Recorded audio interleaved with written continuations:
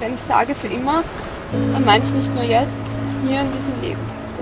Dann meine ich, dass wir Sternenstaub und Seelenanteile sind, die sich immer wieder finden werden.